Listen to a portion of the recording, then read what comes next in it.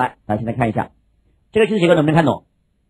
这个句子啊，你看一下啊，这是一个精心修改过的一个带有合成的意味的句子结构。这个句子可以分解成两个句子，一个句子是 Many people believe that students should study together with classmates。然后另外一个句子是 My idea is contrary to My idea is contrary to that，或者说叫做 I hold a different opinion，能听懂吗？这个就是两个句子合在一起的，合在一起之后呢，句子结构就变得复杂了，难度变大了，而且呢，现在还有倒装结构。我相信大家平时呢经常写这种句子，就是很多人认为，但是我的意见跟他们不一样。这两个句子从此以后咱们可以怎么样合在一起写了？当然，你可以拆开写，我不反对。有的人说我拆开写我比较方便，我觉得我有把握，那是是有把握。但是那样你的句子呢，也就显得怎么样平淡无奇，显得不能体现你的水平。但这个句子跟那个句子是完全不一样的。看一下倒装之后的结果是什么样子的：Country to the opinion of of many people is my heartfelt objection to the idea that students should study together with classmates。现在这个句子看完了之后，你们说我的观点是学生应该一起学，还是应该自己在家学？从这里看出来，他的意思是我认为学生应该怎么样自己学。那么这里只是表明了他们的观点是什么，然后又表明了我的观点跟他们的观点是不一样的。这个句子里面使用的叫做 be country to 这个结构。另外，这里又是 heartfelt 这个词大家学会，heartfelt 的意思是什么？衷心的。大家看这个词是 heart 加 felt 构成的。我内心所想的，说白了什么意思呢？就是衷心的。举个例子，我衷心的感谢怎么说？My heartfelt gratitude。我衷心的祝贺怎么说？My heartfelt congratulations。这个大家会了吧？当然，我们有一个 hearted，heart 加 ed 也是一样的，中心的。这里还有一个词叫 objection，什么意思？反对。后面跟 just to，这里一个词 contrary 后面跟的 just to，这个 that 后面引导是什么从句？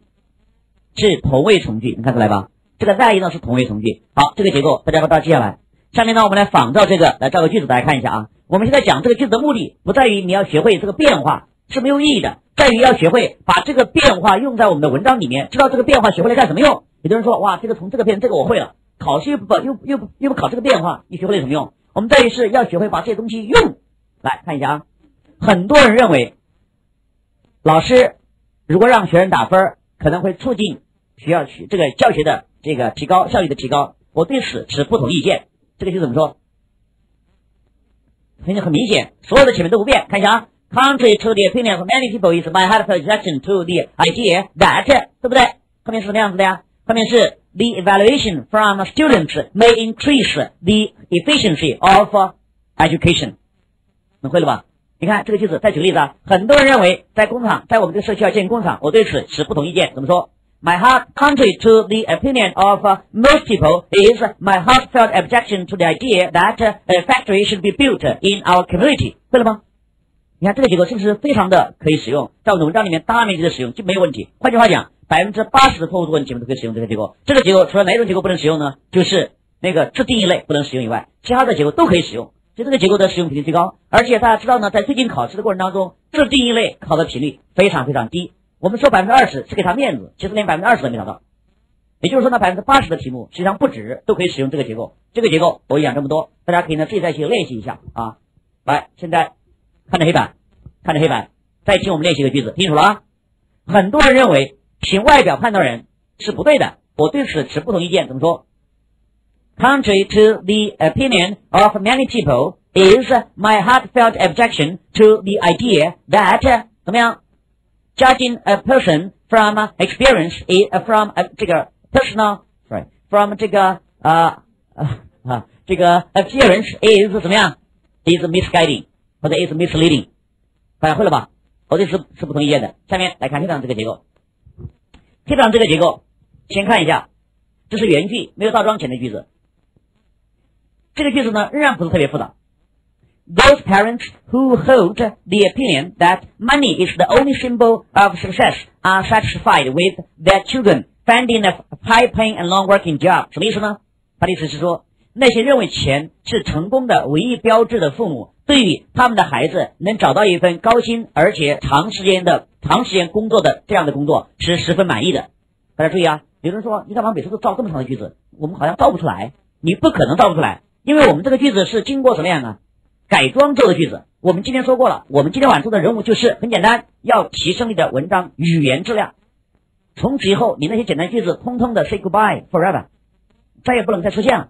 现在看下这个句子，这个句子其实是什么样子呢？是两个句子合在一起的，也可能是三个句子合在一起的。你看一下，这个第一个句子是 their children 怎么样？find a high-paying and long-working job。